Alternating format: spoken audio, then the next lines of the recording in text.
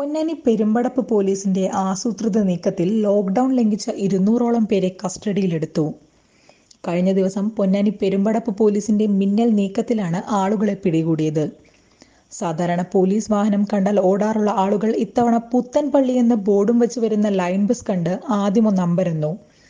നൊടിയിടയിൽ ബസ്സിൽ നിന്നിറങ്ങിയ പോലീസ് എല്ലാവരെയും പിടികൂടുകയായിരുന്നു.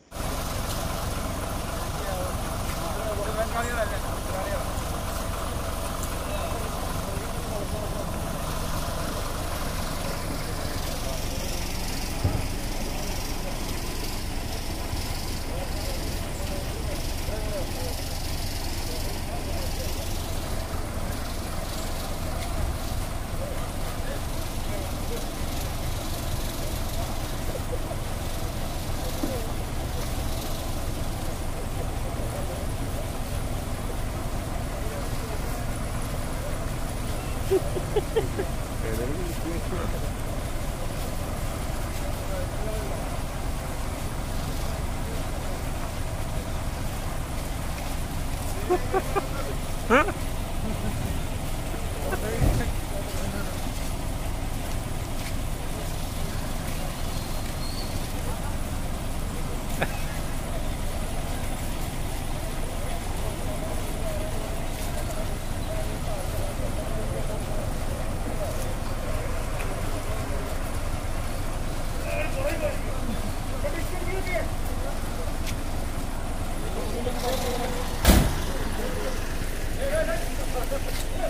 കസ്റ്റഡിയിലെടുത്ത ചിലരെ താക്കീത് നൽകിയും മറ്റു ചിലരെ ഫൈൻ അടപ്പിച്ചും പിന്നീട് വിട്ടയച്ചു.